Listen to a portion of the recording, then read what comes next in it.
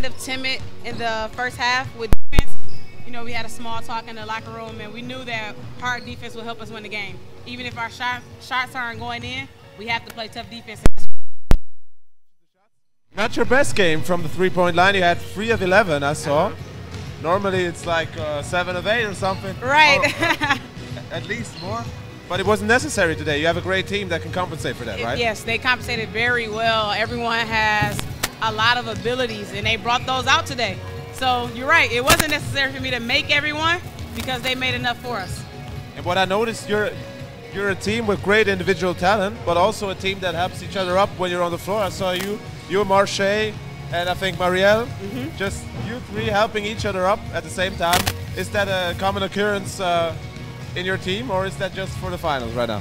Actually, that's that's pretty common in practice or whatever, you know, because we we learned that we have to stick together.